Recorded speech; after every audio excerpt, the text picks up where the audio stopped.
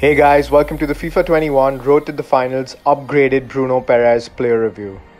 So for this review, I used Bruno Peres as my right back in the 4-2-2 formation on stay back while attacking instructions and I used him with the anchor chemistry style, so let's see how he performed for me in game. Bruno Peres feels absolutely rapid in game. He has 97 sprint speed with 89 acceleration and this guy even without a chem style feels lightning quick in game. Bruno Peres's dribbling for me was also unbelievable. He has a combination of 91 agility and balance with 87 ball control and 85 dribbling, and he is without a shadow of a doubt one of the best right backs to dribble with in game. His passing overall on his stronger foot was absolutely fine for me. I had no complaints there whatsoever. You just have to keep in mind not to pass with his weak foot because he does have a 2 star weak foot, and 80% of the passes on his weak foot, driven or normal passes, will go completely off target so if you keep that two star weak foot in mind, passing on a stronger foot should be absolutely fine for you guys.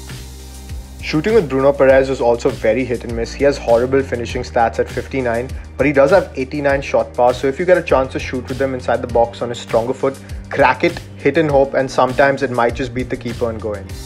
Now, coming down to the meat and bones of the review is reviewing his defending. Yes, he does have the high low work rates, and honestly, I expected him to be out of position a lot. But the surprising part was that on stay back while attacking instructions, that wasn't the case, and for me, he defended absolutely superbly.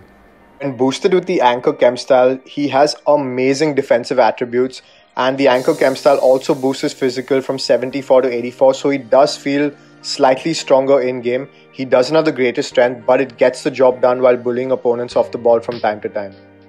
This guy using his high pace and good defending stats while boosted with the anchor chem style could honestly catch up to any attacker in game even if he was trailing and could dispossess them once he caught up to them and for me this card overall was superb in game. I was expecting this card to under deliver a bit but honestly he over delivered by leaps and bounds for me and that was super impressive with this card.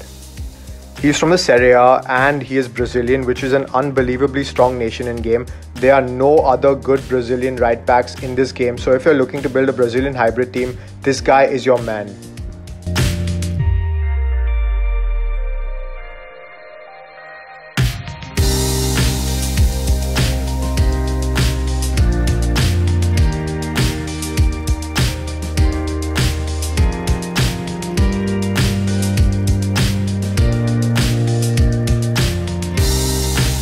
I'm going to rate upgraded road to the finals Bruno Peres an 8.6 on 10 because he was an unbelievable card in game. And I'm also going to give him a value for coins of a 9. He's priced at close to 110k on the market, which for me is great value for this card because he is super versatile in making hybrid squads and overall he is a great card in game. I hope you guys enjoyed this review and if you did, please drop a sub on the channel and a like on the video. It would mean the world to me and have a great day ahead guys.